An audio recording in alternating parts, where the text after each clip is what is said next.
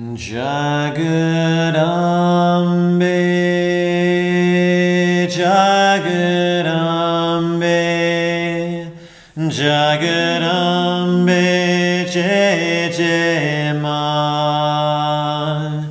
Jai To do this type of work, to share like this is, yeah, it's a real blessing, I feel. Jagadambe, Jai good reason that the yoga tradition is alive thousands of years since it began because it's always relevant. It's about the reality of the human condition. Jagadambe, Jai Jai Ma. So, yeah, hi, I'm James. I was born in 1977. Now I'm in my 30s and I feel really lucky that I'm able to do what I love, which is sharing these wonderfully positive and practical teachings of yoga. Physically in Yogasana, when we take Samasthiti in any posture, we are cultivating even space to let the whole system be flooded with light. So in Indian philosophy, darkness does not exist, it is not real, it is just the absence of light. So our greatest weapon is love and the light of love, which floods that, those places of darkness with light. And when there is light, the place opens up into new possibility. I mean, during these workshops, I've been saying, you know, yoga teaches us how to realize our purpose and potential in life. So it works with the reality of the human condition. It accepts everything. So it accepts all of nature. We are nature. We are born. Nature is that which is born.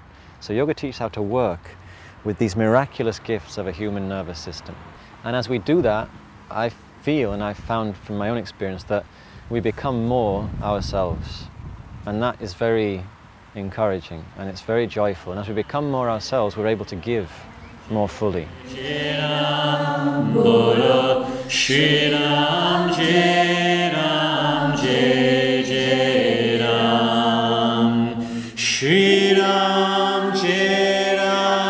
Kirtan is very simple. You just sing from the heart and feel. Of course, as you practice it and you get used to it, it becomes easier. But instant, you feel something. For example, in yoga, one of the things people think about is the body gets more open. But I think my body has opened more from meditation and from singing than it has from asana. Hare Krishna Hare Krishna Krishna Krishna Yoga is always self-validating. You know for yourself. Does it make you feel more present? Does it make you feel more aware? Does it make you feel more joyful, more alive, more happy in your own skin? So yes, yes, yes in the case of kirtan. And then I was inspired to just share it and people had positive experience and asked me to keep doing it. And so then I was more encouraged to do it. And yeah, it's just a, a joy to, to share that.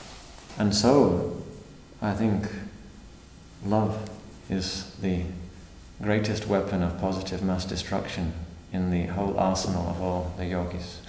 When we come together in satsang, when we come together to explore truth in sincerity and authenticity, then the gifts that we give, they are so lively and they don't get lost and they help us move on and evolve to be more who we really are.